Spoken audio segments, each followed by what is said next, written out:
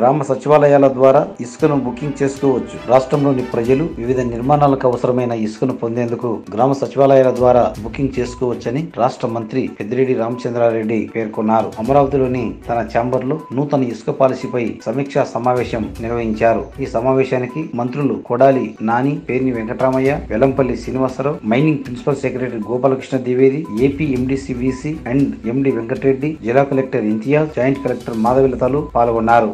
అంతేకాకుండా ఎమ్మెల్యేలు కొలుసు పార్థసారథి స్వామినేని ఉదయభాను మల్లాది విష్ణు సింహాది రమేష్ వసంత కృష్ణప్రసాద్ దూలం నాగేశ్వరరావు డాక్టర్ మొండితోక జగన్మోహన్ రావు కైల అనిల్ కుమార్ తదితరులు పాల్గొన్నారు. ఈ సందర్భంగా పెద్దిరెడ్డి రామచంద్రారెడ్డి మాట్లాడుతూ ఇకపై ఇసుక బుకింగ్ మరింత సరళతరం చేయనున్నట్లు ఆయన తెలిపారు. ఇసుక బుకింగ్లో ఆన్లైన్ మోసాలను అరికెట్టేందుకు చర్యలు తీసుకుంటున్నామన్నారు. సచివాలయ వ్యవస్థ ద్వారా ఇసుక బుకింగ్ పై ఆలోచన చేస్తున్నామని ఏపీ ఎండిసి నుంచి సచివాలయం ద్వారా వినియోగదారులు ఇసుకను కొనుగోలు చేయవచ్చని తెలిపారు. గ్రామ స్థాయిలో వినియోగదారుడికి ఇసుక లభ్యత మరింత సులభమవుతుందన్నారు. ఈ నూతన విధానంపై సీఎం గారితో చర్చించి నిర్ణయం తీసుకుంటామని మంత్రి తెలిపారు. నూతన ఇసుక పాలసీ ద్వారా వినియోగదారులకు మేలు జరుగుతుందన్నారు. మరింత పారదర్శకంగా ఇసుక విక్రయాలు రవాణాకు చర్యలు తీసుకుంటామన్నారు. బల్క్ బుకింగ్లపై కూడా కొత్త నిబంధనలు అమలు చేస్తామన్నారు. ప్రతి బల్క్ బుకింగ్ను జిల్లా స్థాయిలో రీవెరిఫై చేస్తామన్నారు. వ్యక్తిగత పనులకు బుకింగ్ చేసిన దానిలో వారానికి పది శాతం ఇవ్వనున్నట్లు ఆయన తెలిపారు. ప్రభుత్వ పనులకు బుకింగ్లో వారానికి ఇరవై శాతం డెలివరీ ఇవ్వాలన్నారు. ప్రతి రీచ్కు పది కిలోమీటర్ల పరిధిలోనే స్టాక్ యార్డ్ ఏర్పాటు చేయాలన్నారు. ఇసుక రవాణా భారం వినియోగదారులపై అధికంగా ఉండకుండా జాగ్రత్తలు తీసుకోవాలన్నారు. రాజమండ్రి నుంచి విశాఖకు ఇసుక రవాణా చెల్లింపులకు కిలోమీటర్కు నాలుగు రూపాయల తొంభై పైసల నుంచి మూడు రూపాయల ముప్పై రూపాయలకు తగ్గించినట్లు ఆయన తెలిపారు. రానున్న వర్షాకాలం కోసం డెబ్బై లక్షల టన్నుల ఇసుకను స్టాక్ చేయాలని సీఎం ఆదేశించినట్లు ఆయన తెలిపారు. ఇప్పటి వరకు నలభై లక్షల టన్నుల ఇసుక స్టాక్ చేయగలిగామన్నారు. రానున్న ఇరవై రోజుల్లో మిగిలిన లక్ష్యాన్ని కూడా పూర్తి చేస్తామన్నారు. కృష్ణా జిల్లాలో ఇసుక ఆ- ఆ- ఇసుక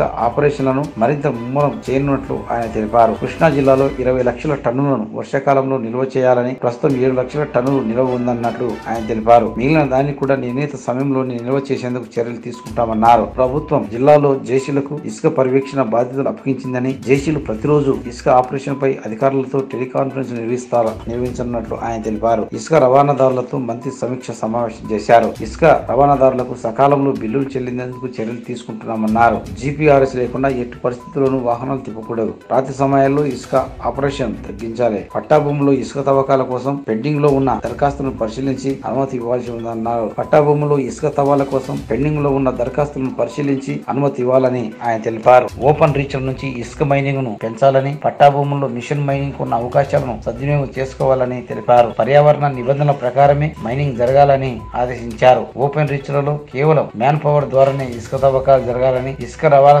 సందర్భంగా టార్పిలిన్కు ఓ ప్లాస్టిక్ సీళ్ళను ఉపయోగించిన ఇసుక రవాణా సందర్భంగా టార్పాలిన్కు ప్లాస్టిక్ సీళ్ళను ఉపయోగించాలని పేర్కొన్నారు. ఇసుక బుక్ చేసుకున్న చోటికి మాత్రమే డెలివరీ అవ్వాలి. అంతేగాని ఎక్కడ పడితే అక్కడ చేయడానికి వీల్లేదని ఆయన తెలిపారు. ఒకవైపు జీపీఎస్ మరోవైపు టార్పలిన్ సీళ్ళ ద్వారా అక్రమ రవాణాను నిరోధించేందుకు చర్యలు చేపడుతున్నట్లు ఆయన తెలిపారు.